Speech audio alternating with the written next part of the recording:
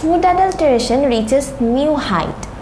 unit three এর এই প্রথম লেসনটিতে আমরা যত ইনফরমেশন জেনে ফেললাম আগের ভিডিওসগুলো থেকে, ঠিক একটা সার্ভে রিপোর্টেরই রেজাল্ট থেকে।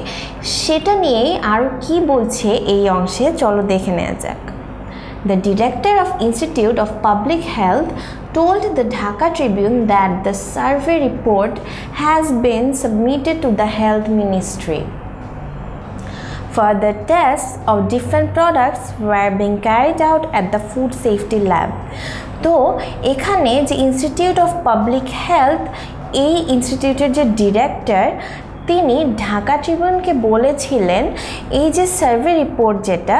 সার্ভে রিপোর্টটা অ্যাকচুয়ালি সাবমিট করা হয়েছিল যে আমাদের হেলথ মিনিস্ট্রি আছে,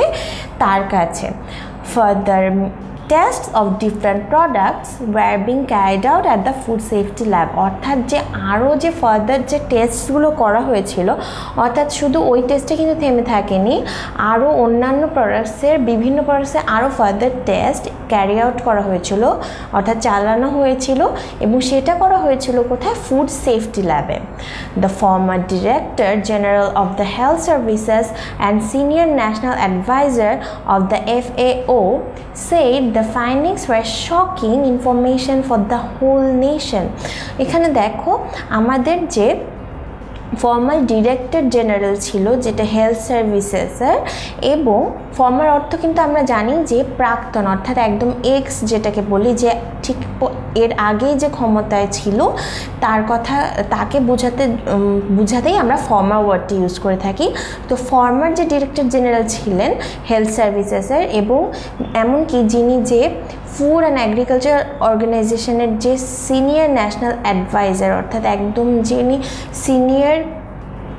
ন্যাশনাল অ্যাডভাইজার জাতীয় পর্যায়ের যে অ্যাডভাইজার তিনি এই যে ফাইন্ডিংসগুলো ছিল রিপোর্টে সেগুলো দেখে মানে উনি বলেছেন যে এই ফাইন্ডিংসগুলো এই রেজাল্টসগুলো এতটাই শকিং ইনফরমেশন সেটা কিন্তু শুধুমাত্র তাদের জন্যই না পুরো নেশনের জন্য পুরো জাতির জন্যই কিন্তু এই রেজাল্টগুলো প্রচণ্ড পরিমাণে shocking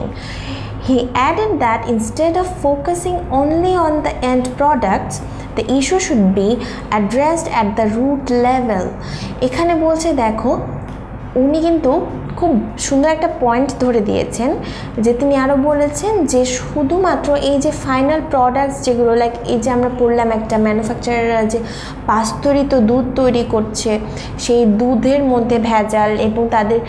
যে এই দুধের ভেজালের জিনিসটা, শুধু সেই ফাইনাল প্রোডাক্টটা যেন আমরা শুধু ফোকাস না করি, এটার যে একদম রুট লেভেল সমস্যাটা থেকে আসছে, একদম গোড়ার সমস্যা থেকে যেন সব কিছু অ্যাড্রেস করা হয় সম্বোধন করা হয় সেই জিনিসটাই কিন্তু উনি অ্যাডভাইস করেছেন pointing out that there were four steps in the production process farmer transport wholesale and retail trader he said better monitoring and supervision were mandatory for stopping food adulteration অর্থাৎ বলছে যে আমাদের যে প্রোডাকশন প্রসেসের যে চারটি ধাপ রয়েছে, যেই চারটি ধাপের মধ্যে একদম ফার্মার অর্থাৎ কৃষি পর্যায়ে যে ধাপটা শুরু হয়, একদম প্রাথমিক ধাপটা, এরপরে ট্রান্সপোর্ট অর্থাৎ ডিস্ট্রিবিউশনের ক্ষেত্রে বিভিন্ন জায়গায় পৌঁছে দেওয়ার জন্য সেই যে প্রোডাক্টটা বা খাবারটা বা র ম্যাটেরিয়াল যেটা, সেটা পৌঁছে দেওয়ার যে ধাপটা এবং হোলসেল অর্থাৎ একদম পাইকারি বাজার যেটা, পাইকারিতে যখন এই যে ট্রান্সপোর্টগুলো পৌঁছে নিয়ে আসলো এবং পাইকারি বাজারে যখন এসে এই সব কিছু বিক্রি করে দিচ্ছে, এটা তৃতীয় ধাপ এবং একদম ফাইনাল ধাপটা হলো রিটেল ট্রেডার যেখান থেকে আমরা একদম ফাইনাল প্রোডাক্টটা একদম এন্ড কাস্টমার যারা যারা আমরা সাধারণ ভোক্তা তারা কিনে নিচ্ছি। এই যে এই চারটা ধাপ, এই চারটা ধাপে প্রতিটা ধাপেই যেন একদম বেটার মনিটরিং থাকে। মনিটরিং অর্থ একদম পর্যবেক্ষণ, তত্ত্বাবধানের যে ব্যাপারটা সুপারভিশন দিয়ে তত্ত্বাবধান বোঝাচ্ছে এখানে। সো একদম প্রপার মনিটরিং করতে হবে এবং প্রপারলি সুপারভাইজ করতে হবে যাতে প্রতিটা লেভেলেই যেন কোনো লেভেলেই যেন এসে ফুড অ্যাডাল্টারেশনের সমস্যাটা না ধরা পড়ে। অর্থাৎ এই যে ফুড অ্যাডাল্টারেশনটা ভেজালটা কিন্তু যে কোনো একটাই, চারটা ধাপের যে কোনো একটা ধাপে হয়ে যেতে পারে, আমরা জানব না। সো প্রপার মনিটরিং এবং সুপারভিশন যদি থাকে তাহলে কিন্তু কোনো ধাপেই এই কাজটা হওয়া কিন্তু সম্ভব না। আর এটা এর জন্যই তিনি ম্যান্ডেটরি করে দিতে সাজেস্ট করেছেন, যেটা বাধ্যতামূলক বলে আমরা জানি। তো বন্ধুরা, আমরা কিন্তু দেখছি আরও স্টেপস সম্পর্কে এবং সামনের আরও কী কী স্টেপস আসছে আরও কি কি জানছি আমরা, সেটার জন্যই আমাদের সাথে থাকবে। তোমাদের যে কোনো ধরনের জিজ্ঞাসা থাকলে সেটা জানিয়ে দিবে কমেন্ট সেকশনে